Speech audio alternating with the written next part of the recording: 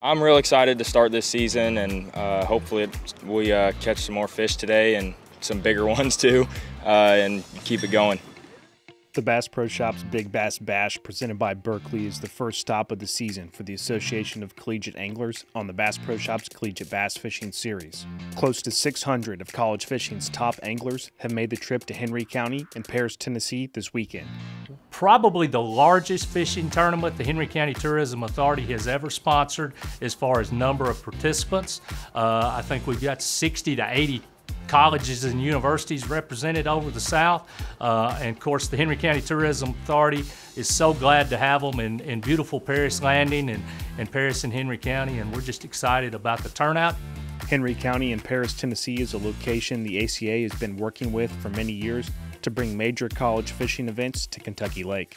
The area offers great fishing, restaurants, and activities that allow you to take in all of the wonderful sights and sounds of the great outdoors. Henry County is a premier destination in northwest Tennessee for tourism. Uh, we have about 35,000 residents. The county seat is Paris, Tennessee, with a little over 10,000. Outdoors is huge. I've been here all my life. Bass fishing, cat fishing, and we're home to the world's biggest fish fry.